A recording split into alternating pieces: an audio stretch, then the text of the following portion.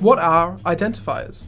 Identifiers are parts of your code that identify things. Cool. So this thing here, is that an identifier? Yes, this is an identifier. In this context, this identifier is being used to name something that we're creating. Right, so a procedure. Yep.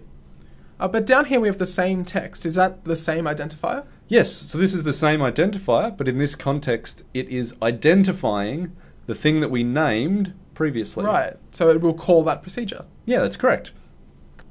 So we have some other identifiers here. Yes. Yeah, these all identify different procedures. Right, yeah, cool. Uh, but the word void here, is that an identifier? Yeah, so void is a special identifier, uh, but it is an identifier. So it's an Right. identifier, uh, and in this context, it's what we call a keyword. So keywords identify things that are meaningful to the language itself. Right, okay.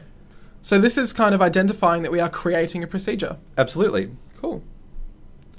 Uh, and main here, that's also just an identifier, and it identifies that this is the start of the program. Yep, so this identifies that procedure we're creating, and yeah, that will be where the program starts when it executes. Yeah, executes. great.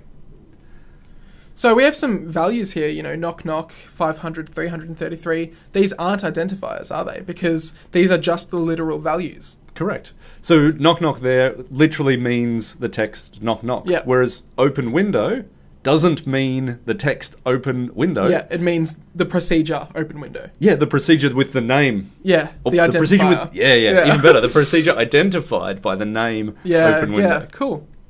It's one thing when you are creating procedures would be to make sure that that procedure actually opens a window. Right, If yeah, it like yeah. plays a sound effect, people are going to be You want to be descriptive. confused Yeah, exactly. when exactly. it tries to play the knock knock sound effect. Yeah. And I'm guessing I can't just name my procedures whatever I want. There might be some identifiers that I'm not allowed to use. Yep. So there's the ones that are used by the language. So, for example, if, for, while. Yeah, okay. Uh, these are ones. The void word that we saw before. Yeah. These are all words that are used by the language. So, So they're reserved, yeah, they're basically. reserved words. Yeah.